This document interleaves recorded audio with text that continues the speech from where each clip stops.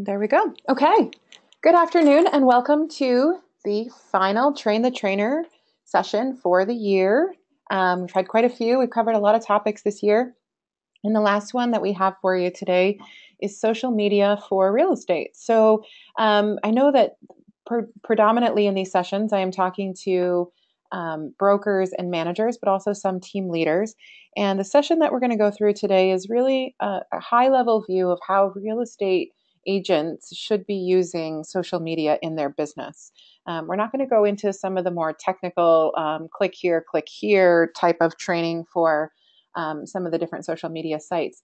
Uh, we do provide a bunch of that, but I really want to kind of do more of an overview in this session of how you should be um, explaining the use of social media in their business to um, the folks in your offices or on your teams.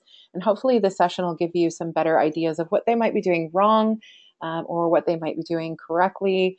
Uh, I'll take a bunch of questions at the end because I know that I'll have some that come in. So uh, we'll go through this session and then we'll um, I'll answer any questions that you have live when we get there um, at the end. So uh, for those of you, if this is your first Train the Trainer session that you're jumping on live, this is how it works. I'm going to give you kind of an overview of the topic now and, and how to present it uh, as a trainer or a coach in your office or with your team. And I'm going to make sure that at the end of it that you're provided with any handouts or resources that we um, that we mention or that we reference in this session. We're also going to do a Q&A at the end and I'll also give you my contact information. So if there's anything um, that you would like as a further follow-up to this session, you'll have my information there available to you. Um, just also know this session is going to be recorded, and a link to the recording, as well as all of the handouts, will be emailed to anyone who registered for this session to the email address that you used to register for this session. So if you have changed your email address over the year, um, since you registered initially in the beginning of the year. Um, you may want to just pop me a message or let me know.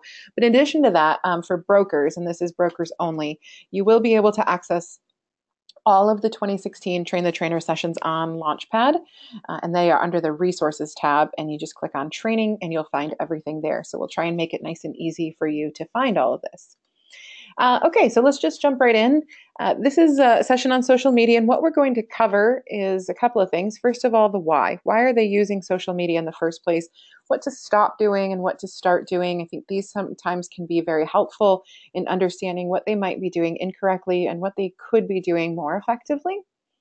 Uh, we're also going to tackle the topic of content. So, what to write about. I know this is probably one of the most common questions that anybody who trains in social media gets is what do I write about? What do I post about? What do I put on my Facebook profile versus my page? What am I um, talking about on Twitter, Instagram, or LinkedIn, or um, any of my social media sites? In general, what should content look like? So, we're going to talk a lot about that today. Um, we're also going to be talking about the value of building relationships. Uh, social media is social, and so we are going to focus a lot on well, the relationship building part of this and I would really encourage you, if you're using this as a training topic with your team or with your office, to really focus on the idea that um, this isn't about talking to people, this is about conversing with them and engaging with them. And so we will end with the uh, topic of engagement and how to really build more engagement on their social media sites. So these are the things we're going to cover today. And again, as I mentioned, we are recording this. You will get a copy and I'll give you all of the slides. But I also want to let you know we will take Q&A at the end. So don't feel feel free to um, to write those questions in as we go and we'll go back and answer some of them as we get to the end of the session. So why does social media matter? We still have quite a few folks in our network who don't use social media or don't use it in, in a business uh, from a business perspective. They mostly use it to keep in touch with their friends and family and share funny stories and things like that. And that's great. But why does social media matter in terms of our business? Well, I'm going to give you a am going to give you a uh, example here. Um, really the first thing I want to start with is this this idea. Social media has really changed the fundamental relationship between companies and customers. And I talk about this all the time. When I started in real estate, um, nearly a well more than a decade and a half ago now, um, business was simple. You you had one way communication. You had something to sell, and so um, you know you basically looked like this. You have something to sell and you have a sign that says this is how much it costs and, and basically uh, that's the extent of the communication so for example, um, you would have an open house and you would put an ad in the newspaper and you would say, This is the open house, and people would read that information and they would um, respond to your service.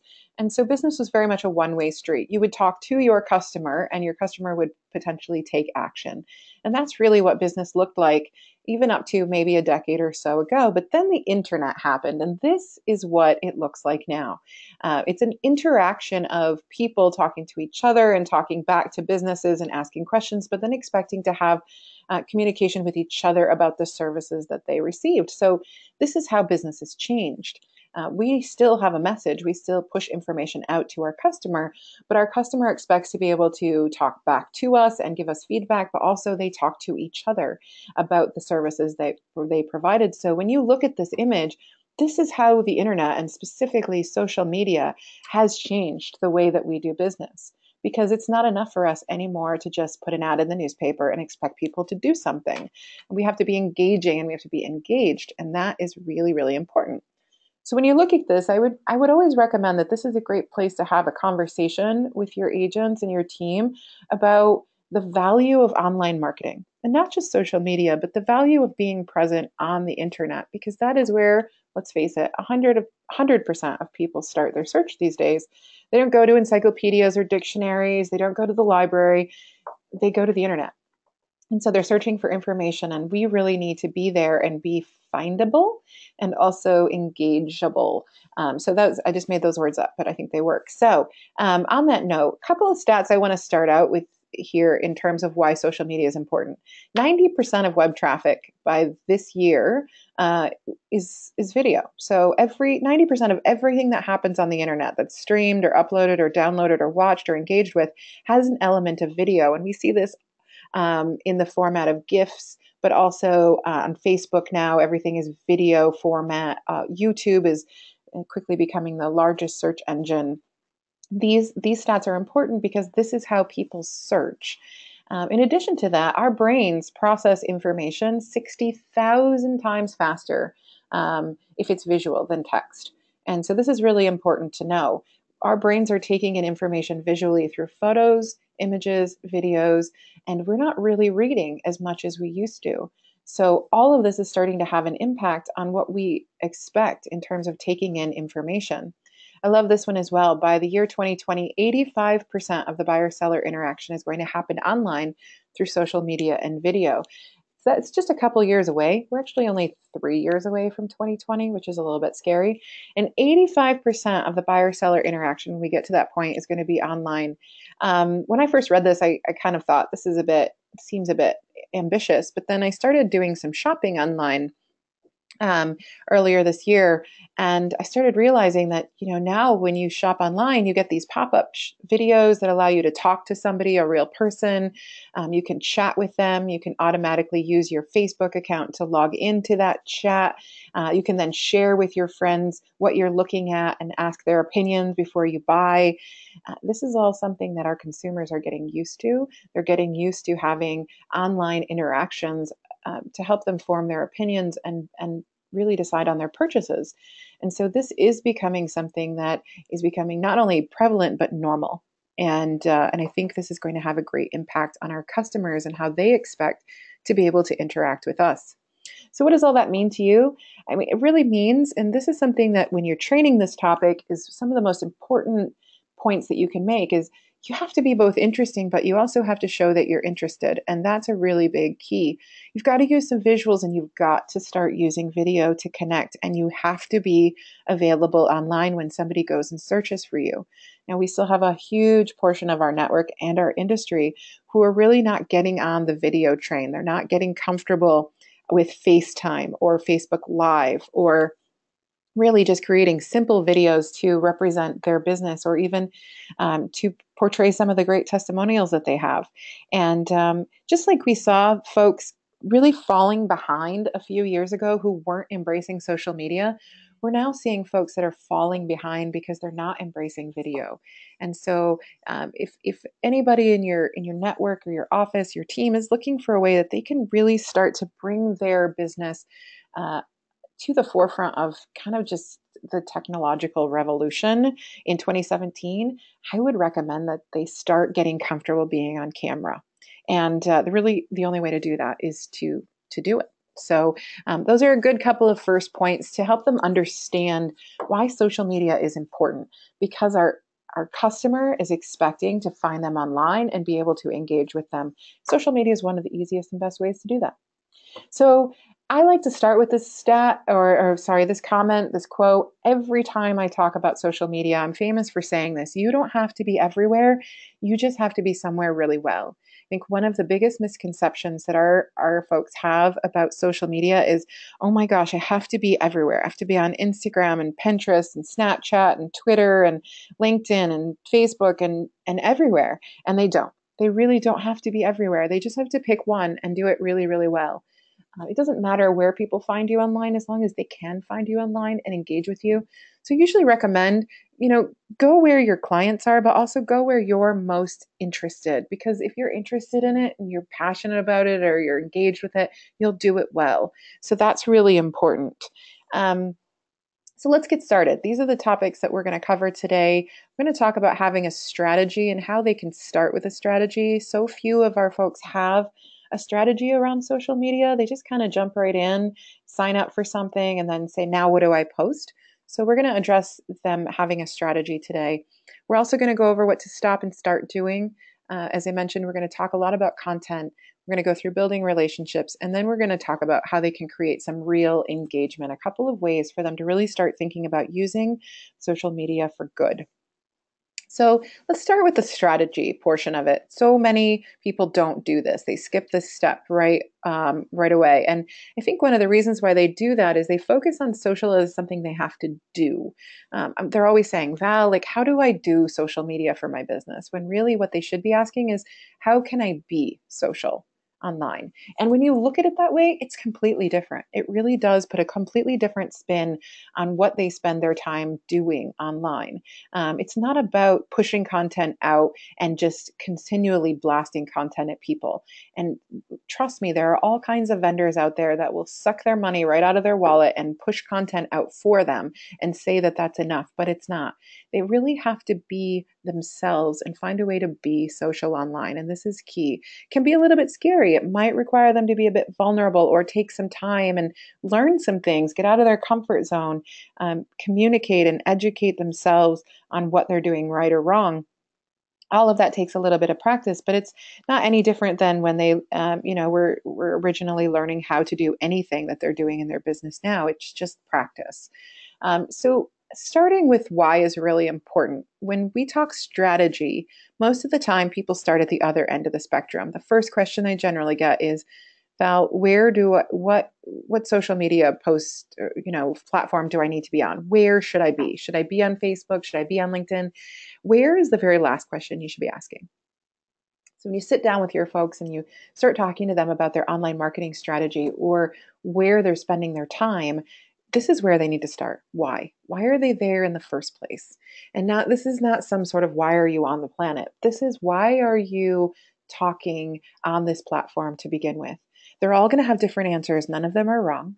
Um, some of them may say, Well, I want to stay in touch with past clients, or I want to be in touch with my family and friends and remind them that, that I sell real estate for a living.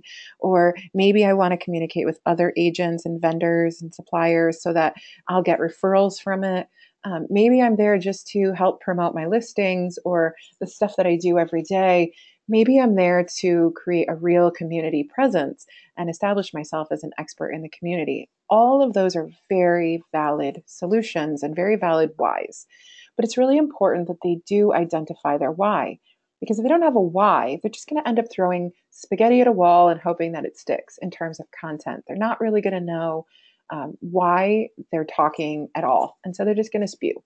Um, so it's really important that they do start with the why. And the second thing that they need to do is then talk about the what. And this is what do you want to accomplish while you're there? And what kind of content do you feel you should be sharing? Um, so as we're working through a strategy, okay, you know your why. You know that your why is to remind your clients that you're still here for them even after they've bought or sold. So, what do you want to do to accomplish that? Do you want to be warm and fuzzy? Do you want to provide them with really good insight and education and valuable information about the communities they live in or the houses that they've purchased? And so once they start going down that path, what kind of content they should be sharing, it, it really starts to make sense. Okay, if I'm dealing with um, staying in touch with past buyers and now they're homeowners, the kind of content that I should be sharing should be targeting people who own a home. So DIY projects and home improvements and taxes and bylaws and community information and and um, you know mortgage rates for um, things like um, refinancing. All of that stuff should be focused on the, the audience that you've identified in your why. The next step is who's your target audience? And this really already ties in. So once you know your content and you know exactly who you're talking to, it makes it very, very easy to start figuring out what you should be saying. And that's where we get to the very end of the strategy, which is where should you be posting and sharing? If you started at this end and you said, okay, where should I be? I should be on Facebook. Now, what should I post? You've skipped all the most important parts. Who are you talking to? What do you want to accomplish? And why are you there to begin with? So have them really sit down and work through those four steps backwards. And this is a helpful process, even if you're not talking online marketing. For those people who are sending out a ton of newsletters or print marketing or putting a ton of dollars into online ads or offline ads or um, campaigns, they really should be on a regular basis reevaluating their why, what, who, and where in that order. Otherwise, I think we tend to just see that they just continue to churn money into the same content all the time. Okay, so this is really the strategy uh, process, and I would encourage you to walk through this process in your business planning, uh, especially when you get to where are you spending your time and your money. Knowing your why, what, who, and where is really going to help you budget that time and money wisely when it comes to your marketing, but also help you really focus on what you're doing on social media to begin with. The next step and the next common, most common question I get is who has time for all of this? Uh, this seems like a giant time suck. And, um, you, you know, you do get a lot of trainers and coaches out there saying social media is a waste of time. Social media, if you're just there to chat and share memes and talk about cats and funny stories, can be a waste of time. But if you're focused on it as a part of your marketing strategy and you're using it to build real content that is shareable, with the people that are listening to you can be a very valuable way to market yourself. And so you need to do you you definitely need to know what are you spending your time on that's not valuable and what should you be spending your time on. It's also important for them to maybe set a limit. Um, just like they could sit down and time block time to prospect, sitting down to time block time to stay in touch with folks on social media can be a really effective strategy. In addition to that, being consistent. We have lots of folks that start a Facebook page or a Twitter account or a Pinterest board and then they never go back. So being consistent, making sure that it's just like farming. Online marketing is exactly like farming. You got to show up regularly, you got to provide great content, you got to have your face out there in front of people on a regular basis in a positive way. So, all of this kind of ties into their strategy in terms of the time they spend and the effort they spend, and are they spending it on the right stuff? I like to show them this graph. Um, this is probably one of the best, simplest ways to break down what they should be spending their time on, and it's really the rule of thirds. So, a rule of third, uh, one of the thirds here is listening and reading. Just observe what other people are talking about, especially if you're connecting with folks in your community. Also, make sure you spend at least a third of your time having conversations. Talk with people, talk to people. Um, you know, it's if you're going to just talk about yourself all the time, people are going to stop listening to you. So make sure that you're engaging with other people's content as well. And then about a third of the time, creating new content, posting um, valuable content for the folks that are paying attention to your social media sites. So this can be a really good goal for them in terms of creating their strategy. So once they have a strategy, they kind of know wh- what they're doing there and who they're talking to and, and what they're focused on one of the best ways to kind of do an audit on their social media is to start looking at what they should stop doing. And the first thing that most of um, our agents and team members should stop doing is just this vanillaizing of content in that they're talking to everyone. You know, everybody that's on this call right now or listening to this recording knows that at one point or another, you have been invited to an open house in another country or state or province than where you are now um, online. And, and you look at that and you think, I'm probably not going to end up coming to your open house in Kansas this weekend. And you wonder, you know, is this an effective use of your time on social media when you're talking to essentially everyone instead of targeting your content to the right people? So, one thing that I would really encourage they stop doing is just blasting out the same content to everybody. Facebook has lists. Um, you can definitely use hashtags on some of the other sites, but start target marketing the content that you're putting out, or at least identifying who your audience should be to make sure that you're talking to the right people. Uh, this kind of ties into the same thing here sharing the same thing everywhere.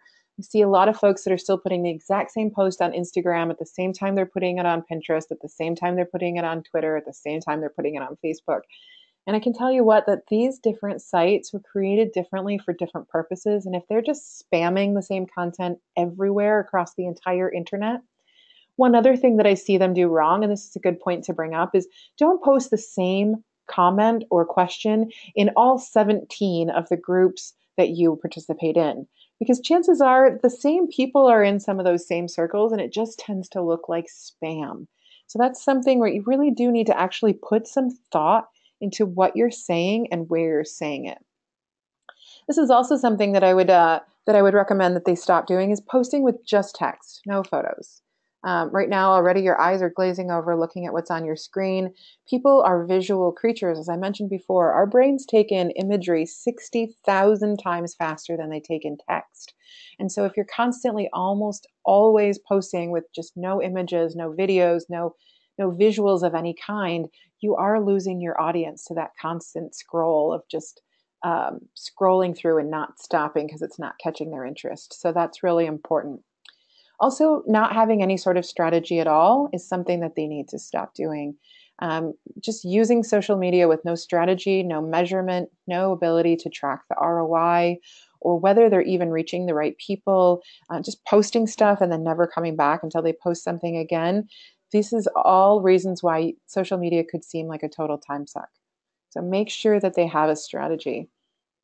Number five, the fifth thing they need to stop doing is using too many tools and trying to be on too many sites. A lot of people get really caught up in all of the shiny objects and the in the different um, all of the different uh, things that are available to them and trying to be, like I said, on every single social media site. Um, so making sure that they really hyper focus on something that they care about that they will do well will really help to serve them better. So now that we focus on a couple things that they should stop doing, what should they start doing? What are most of them not doing that they could be doing better? Well, the first one is pretty much what our mothers all taught us. We have two ears and one mouth for a reason. We need to start listening more than we talk. A lot of people go onto their online um, accounts, whether it be their blog or a um, social media site, and they just tend to dump information and walk away don't tend to stick around for the conversations or engage with people. A lot of times I see a post that's created a ton of conversation. There are a whole bunch of comments below, but the, the original poster, the, the agent, never went back and engaged on any of those. They didn't say, Why do you feel this way? or Thank you for disagreeing with me. That's a great other point of view. Or um, thanks for sharing your stories they just don't come back and engage. The whole point is to start a conversation. So listen and have those conversations. Number two, um, probably the biggest sin in our industry is just making it so darn difficult for people to contact them. Um, many of our agents don't fill out the About Me section on their social media sites. There are no websites there, or email addresses, or links to uh, ways to contact them. And so, really, what they're doing is they're sharing any sort of content with the world and not giving the world any sort of call to action to follow up with them. I would recommend this as a huge um, glaring thing to fix for 2017 if you're going to be talking about social media, making sure that every time you're there, somebody has a way to contact you. I can't tell you how many times a day I see folks post, I have a great new listing. Um, it just hit the market. Contact me for more information. There's no MLS number. There's no link to their website. There's no phone number. There's no email address. There's no uh, there's no link of any kind, and then you go into their about me section and there's no way to contact them no phone number no email address no website and i just think uh, what option does that leave me with? I want to find out more, and you've just made it difficult, and now I've given up. Um, so, making it really simple for them to contact you should be a good point of focus on social media. In addition to that, don't always be talking, ask questions. One of the very best things that you can post on social media are questions. What do you guys think about this? What would you do in this situation? How would you handle this particular situation? What would you like to see? Um, and really open ended questions, not stupid closed end sessions. Um, questions like, How old were you when you bought your first house? That leads to zero conversation. How about things like, you know, if you were looking for your first house now at this stage in your life, knowing what you knew when you bought your first house, what would you spend money on versus what you wouldn't have spent money on and why? Help me to understand where potential first time home buyers might be coming from or what kind of advice can I give them? all of those things create great engagement and show that you are uh, someone who actually cares about your clients. One of the other things that you should start doing is providing solutions. Once you have all those questions and those um, perspectives that other people are offering you, offer those up as solutions. Um, one of the things I tell our agents all the time in training is you get asked questions every day. You're in a position where people just feed you content. What should I ask a home inspector? Where do I find someone? Is it worth it to change my countertops? You know, do should I rip out my bathtub and put a stand-in shower? Is that going to affect the value of my property? All of those questions are fantastic pieces of content. And so, one of the things that they can do really well is take those pieces of content and provide some solutions. Hey guys, here's a question that I get asked all the time. Here's the answer. That's fantastic to start sharing on social media. So, leading into what we should write about, one of the other questions that we get asked all the time, and you probably, if you're having any of these training sessions with your agents, are what, what kind of content? What should I be sharing? What should I be writing about? And this is what I usually answer. Your greatest responsibility, and not just responsibility, guys, but your greatest privilege as a real estate agent is to educate your customers. We get to do this all day long, every day. It is our privilege to be in a service role where we get to help people and they get to go away from a transaction feeling like they know more now than when we found them. And that really should be our goal with all of the content that we're sharing. Our greatest responsibility and privilege should be to educate with the content that we share. And so when we look at the word value, what kinds of things does that actually mean? Well, teaching them something, solving a problem, educating them on the community that they live in, entertaining them, sure, but encouraging them to read more, understand more, or feel more comfortable with the investment that they've made or are making, but also something that they're going to want to share with others. That's the whole point. And so, um, that question, what should I write about? What should I share? I usually say, put these on a sticky note and hold everything that you put in your marketing up to uh, these goalposts. So, whether it's a postcard that you're dropping off to your farming area, or it's a post on social media, or it's an article on your blog, whatever it is, are you hitting at least one of these goalposts? Are you solving a problem? Are you teaching them something? Or are you giving them something that they would want to share? I think these are, this is a really good um, guideline to work by. Also, want to encourage them to start using more visual information. We talked before about how they should stop just using text really encourage them to start getting into photos and videos. Now, everybody carries a camera and a video camera around in their pocket constantly. It's called our smartphone. We don't use it as a phone, mostly we use it as a camera. Um, but you go out and you see things all the time community information, what's happening in the community, that great coffee shop, or the new school that's being built. Take a picture, comment on it don't just note it and say, oh, yeah, okay, that's great. I got to remember that. But take a photo and share that. Talk about why that's going to be significant to that community. These are all things that make really great content. In addition to that, putting text over top of photos. Um, I really encourage our agents to stop just sharing photos without text on top of them. There's some really simple and easy tools that'll let you do this Canva, Picasa, PicMonkey the Over app, all of those are great options for putting text on top of your photos. If you're going to share a great photo that you've taken of your community, take the opportunity to put your website or a caption or your name or a watermark or the address of the property on top of that photo. So as it's shared, the information stays with it. That's a really good tip for anyone who's using visual marketing. One of the other things I do, and I like to share this one because this is created by a company in Denver that I think does this a very does this very well, is take information that's otherwise super boring or is interesting but is can get a bit tiresome in just text format and make it look interesting. I love this. They do this on a regular basis every month and they show the average sold price in the neighborhood, but they also show the highest price property that's sold and the lowest price property that's sold.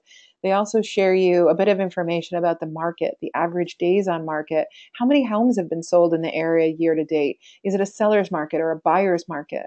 What does that mean? All of this is really great information. And if you were to drop this in your farming area, even on a quarterly basis with this kind of information, this is value. This is stuff that people would look at.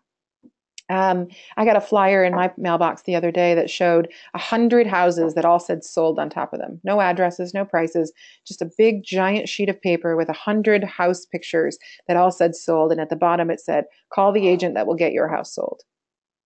Now, that was interesting, and maybe people would say that's compelling, but it, as a homeowner in that neighborhood who's not looking at selling right now, it told me absolutely nothing that I would want to know. It didn't give me any prices. It didn't circle the one that was the highest priced or the one that was the lowest price. It didn't tell me why one would have sold for more than the others, or even why any of that information was valuable to me.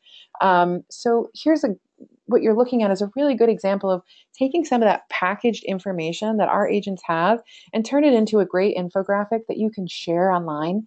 Put this on social media. This is shareable. It's interesting. It's educational and it's visual. It t- ticks all of those boxes. So, this is a really good example to share um, when you're talking about content. Uh, consistency. We talked about this a little bit earlier as well. Consistency is really key with all of this. You don't have to post a million times a day. Everybody who says, you know, who has time for social media needs to remember if you're running a Facebook page as a business or you are being a professional real estate agent online on your social media accounts, you can post once a day. You can post three times a week. Whatever you do, though, you need to be consistent and you need to have quality content when you post. A lot of folks think that they need to post several times a day on their Facebook page to continue to keep it um, viable and in front of eyeballs. You don't. You just need to provide really great content that means something to somebody and they'll share it and they'll engage with it. So let's move on to sort of now that we've kind of talked about how they should be using social media, they need to have a bit of a strategy, what they should stop doing and start doing, and some of best practices. Uh, and then also, we've talked about content and what they should be posting and what they shouldn't be. Let's talk a little bit about using it to do what the most important part of their role is building relationships. How do we actually turn these brief conversations or these eyeballs that we're getting on our content into people who want to use our services? First of all, I like to always put this out in front of people. So what? Every time you create a piece of marketing or you write a post, whether it be a tweet or a Facebook post or an Instagram or a snap, or whether you put it in a newsletter or on your website, Look at it from the perspective of your customer and say, so what? You need to remember that it's not about you. And this is something you need to remember when you're training this is to say this to them, look them in the eye and say, guys, this is not about you. It's about what you can help your customer with. And you really need to care enough to address their needs and wants because people don't care how much you know unless they know how much you care. True, true story. So make sure that you're taking the time to think so what from the perspective of your customer. Um, I really love this this um, this quote. I, I use this one all the time.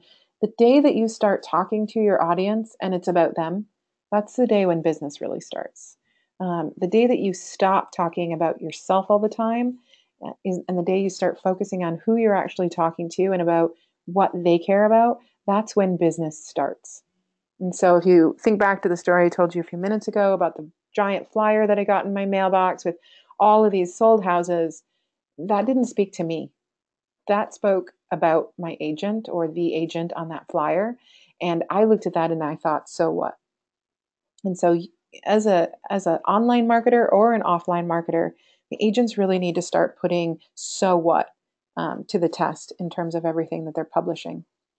One of the most important things they need to remember in terms of using social media for good and creating relationships is the offline follow up has to happen. It can't just be online. You do have to get face to face. It's never going to replace that. And you guys know that.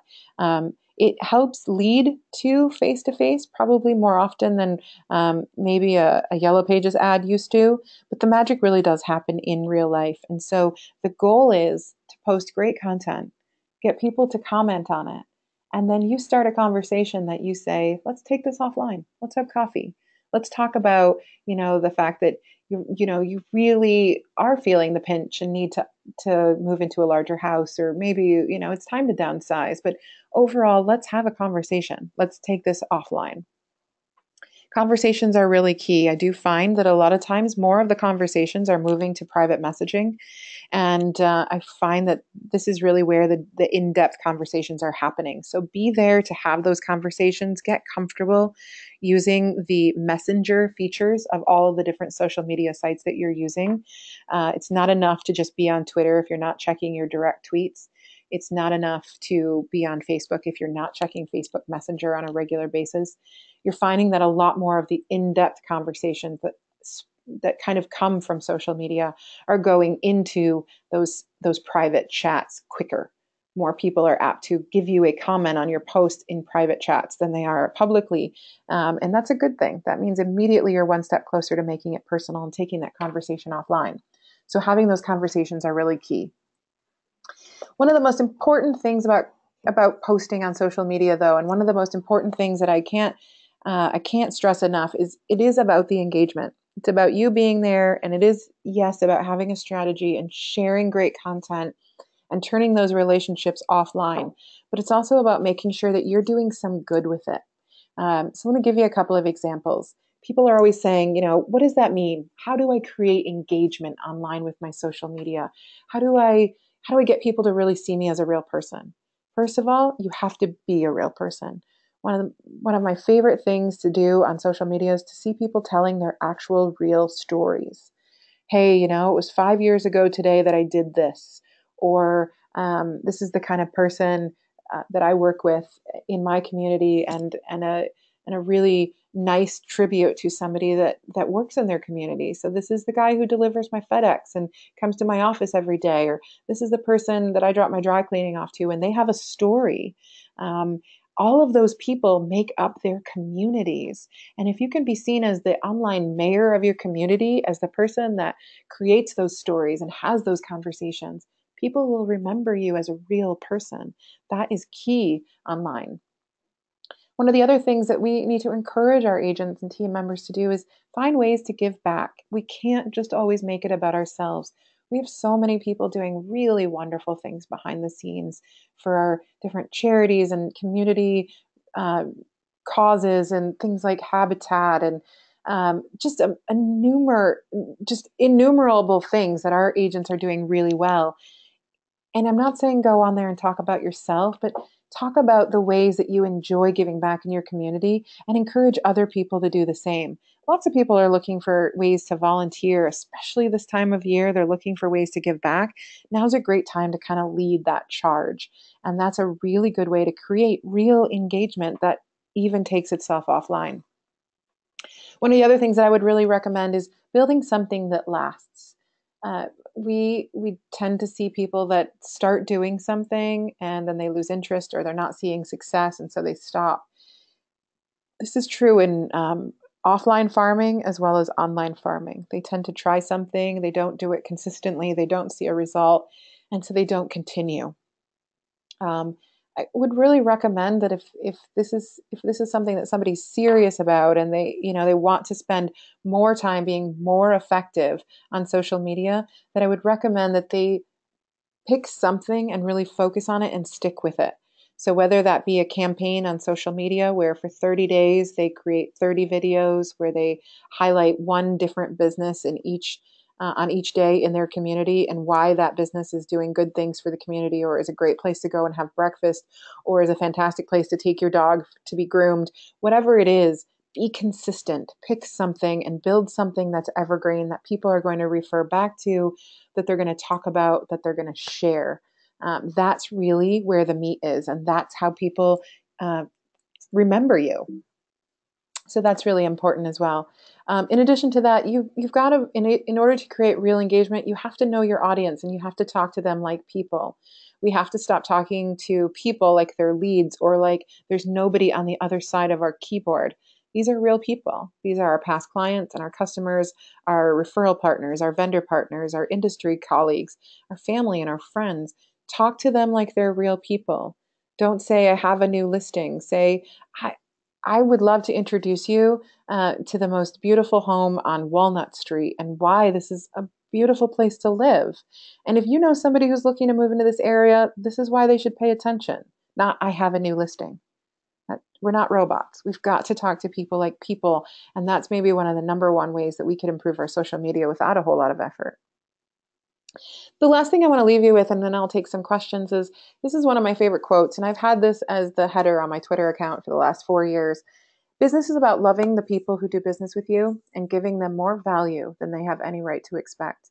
I think the driving force between us being successful online or offline in any of the marketing messages that we do anything that our agents do. And if you sit down and you do this training session with them, this is the one thing I would really want to uh, to really have them dig deep into is business is about loving the people who do business with you and giving them value, making them feel like they are the most important person in the room right now or the most important person that you're talking to. And if we can we can hold that up as the gold standard to all of the marketing that we do online and offline, whether it's postcards or flyers. Um, you guys know our folks send out a ton of content. There's always something going out newsletters, posts, whatever it is. Is, is that content showing real value and also letting them know that they love the people they're doing business with? would really encourage them to start um, holding that up as a standard. So, what are some of the big takeaways here? And as I mentioned, we went into this kind of high level. We didn't talk about particular tools and resources. We we do a lot of training on those. What I really wanted in this was how do you practically apply the rules of online and offline marketing to what you're doing in, in your real estate business? And these are some of the big ones. Know why you're there. Have a why and really use that as your North Star. Also, listen to the questions that you're getting. Pay attention to the things that people ask you on a daily basis. That that is the gold nugget of content right there because people want to know the answers and you have them. Also, huge, huge key push for 2017 if they aren't already get comfortable using images and videos. Get comfortable pulling out your phone and snapping photos and sharing photos beyond just, hey, here's a sold sign. We see lots of sold signs. But you know what? You and I both know that is not all of all of what you do every day. You work with people and you counsel them and you negotiate on their behalf and you uh, you're a you know a therapist and a personal shopper and a and a helper and an encourager and all those things. Find ways to use images and videos to tell those stories because the way you tell stories is the way you're going to be remembered. We have been telling stories as humans since the cavemen days when we sat around fires. And the, the fires of today are social media. Tell your stories. Also, really important that they know their audience. Who are you talking to? How is this going to resonate? So what? Ask that question on behalf of your customers before you hit post, before you print that flyer, before you put that whatever it is in the mailbox. But more than anything, and you know I always end with this, don't be afraid to try something new. It's a new year coming up.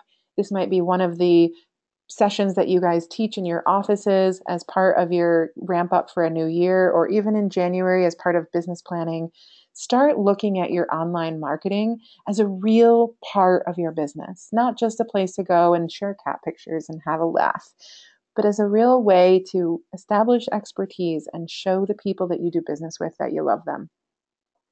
So, what next? Well, we've recorded this session, and I'm going to be sharing it with all of you um, to the email address that you used to register for this session, but also you are going to be able to find these in the resources tab of Launchpad through the training session.